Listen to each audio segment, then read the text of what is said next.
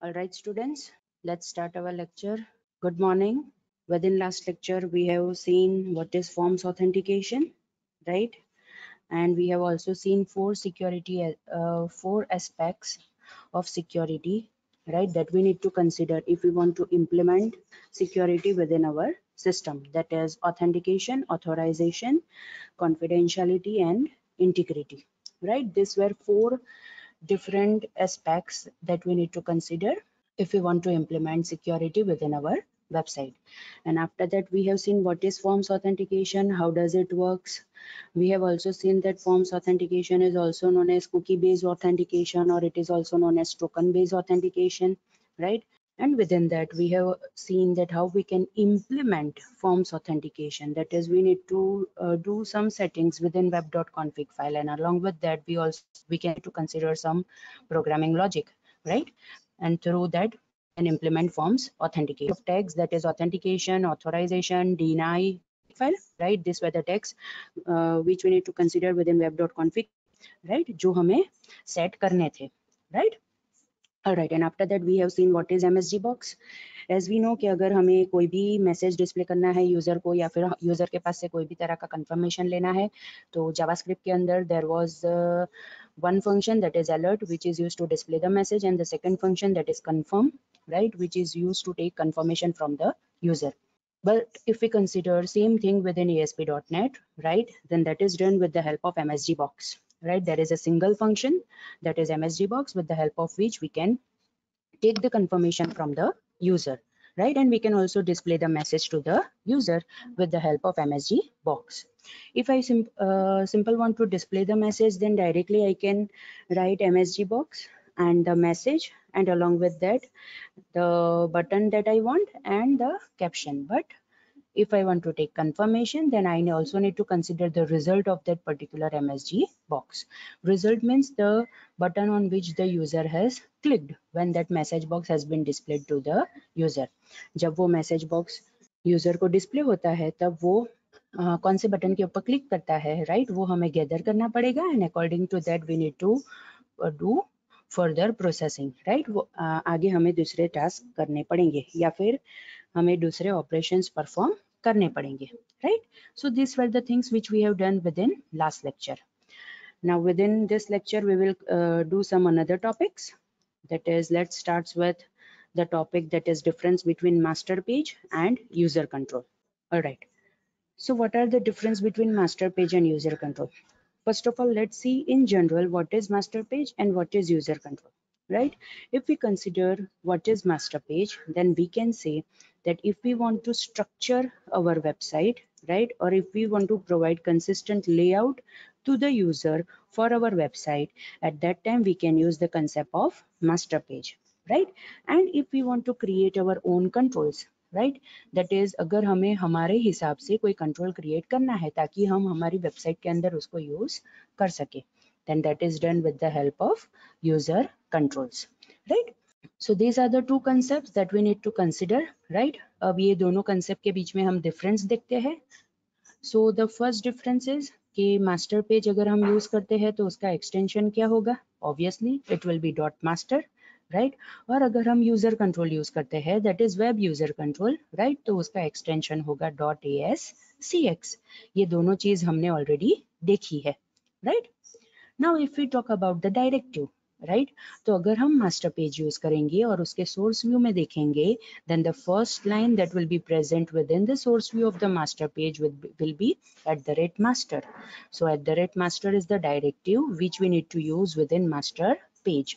while if we consider about user control right और अगर हम user control के source view में जाके हम देखेंगे then the first line will be at the rate control because the directive that is used for user control is at the rate control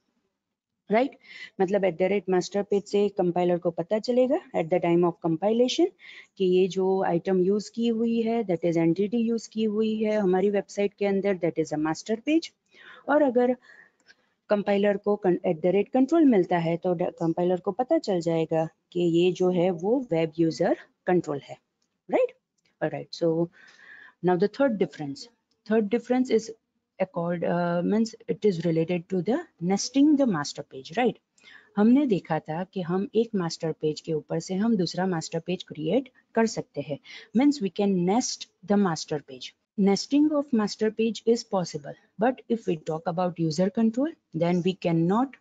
nest the user control हम एक user control पे से हम दूसरा user control create नहीं कर सकते but that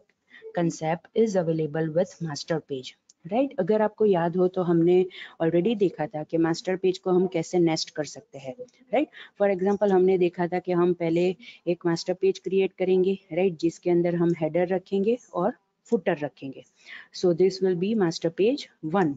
इसके ऊपर से हम दूसरा मास्टर पेज क्रिएट करेंगे राइट right? अगर एक मास्टर पेज के ऊपर से हम दूसरा मास्टर पेज क्रिएट करते हैं तो ऑब्वियसली ये जो पहले मास्टर पेज का जो लेआउट है, वो ऑलरेडी हमें यहाँ पे मिल जाएगा that is header and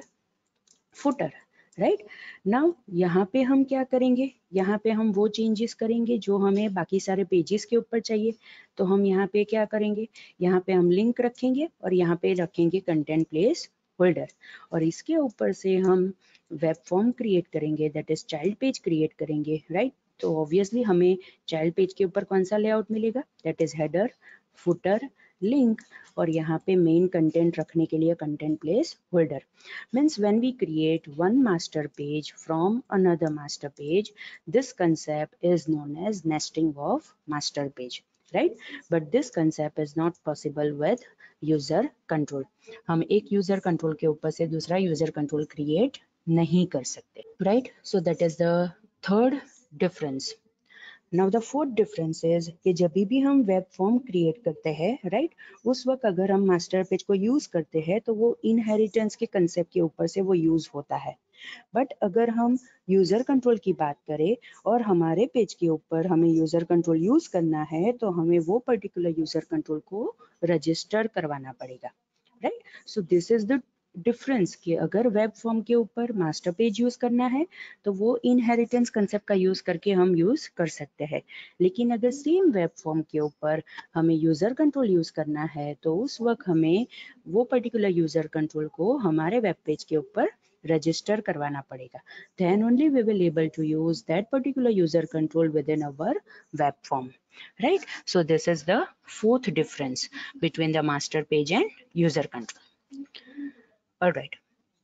now the fifth difference is obviously master page is used as a template for web form हम web form के ऊपर डिज़ाइनिंग करने के लिए master page as a template use करते हैं right but if you consider about user control then obviously अगर हमें कोई टास्क परफॉर्म करना है like some other web web server control right so if you want to perform some task तो उस वक्त हम यूज़र कंट्रोल का यूज़ करेंगे। मीन्स वी कान से कि हम वेब पेज के ऊपर जब भी हम यूज़र कंट्रोल का यूज़ करते हैं तो वो एज अ टेम्पलेट वर्क करेगा। No no. वो एज अ कंट्रोल वर्क करेगा। बाकी के जैसे दूसरे जो वेब सर्वर कंट्रोल्स है, उसी हिसाब से ये जो यूज़र कंट्रोल है, वो यूज़र कंट्रोल भी हमारे वेब पेज के ऊपर कोई टास्क परफॉर्म करने के लिए एज अ कंट्रोल वर्क करेगा। Right now another difference related to the content place holder control जब भी हम मास्टर पेज का यूज़ करेंगे राइट? वो मास्टर पेज के ऊपर हमें content place holder control place करने के लिए टूल बॉक्स में मिलेगा। लेकिन अगर हम यूज़र कंट्रोल की बात करें तो यूज़र कंट्रोल जब भी हम क्रिएट करेंगे, उसके साथ हमें ऐसा कोई भी कंट्रोल नहीं मिलेगा। That is content place holder control because content placeholder control is only available for master page web form के लिए भी वो available नहीं होता है। राइट? आप ये टेस्ट कर सकते हो। आप एक मास्टर पेज क्रिएट करना टूल बॉक्स में देखोगे तो वहाँ पे आपको कंटेंट प्लेस होल्डर कंट्रोल मिलेगा। लेकिन जैसे ही आप दूसरे पेज के ऊपर स्वैप करोगे दैट इज़ वेब फॉर्म के ऊपर स्वैप करोगे तो टूल बॉक्स में से वो कंटेंट प्लेस होल्डर कंट्रोल चला जाएगा। लाइकवाइज अगर आप यूज़र कंट्रोल की बात करोगे तो यूज़र कंट्रोल जब भी आप क्रिएट करोगे, उस वक्त भी आपको टूल बॉक्स में ऐसा कोई भी कंट्रोल नहीं मिलेगा। That is content place holder control आपको नहीं मिलेगा। Means more precise we can say that master page always contains content place holder control because obviously हमें वेब फॉर्म के ऊपर डायनामिक कंटेंट चाहिए और डायनामिक कंटेंट क्रिएट करने के लिए हमें ये कंटेंट प्लेस होल्डर कंट्रोल चाहिए। इसलिए मास्टर पेज के ऊपर हमें हमेशा कंटेंट प्लेस होल्डर कंट्रोल मिलेगा। लेकिन यूज़र कंट्रोल के ऊपर राइट वो दूसरे सारे वेब सर्वर कंट्रोल्स तो कंटेंट कर सकता है। लेकिन यूज़र कंट्रोल के ऊपर हमें कंटेंट प्लेस होल्डर कंट्रोल नहीं मिलेगा right so students these are the six difference between master page and user control ये जो आपको कंसिडर करने हैं right now let's move further all right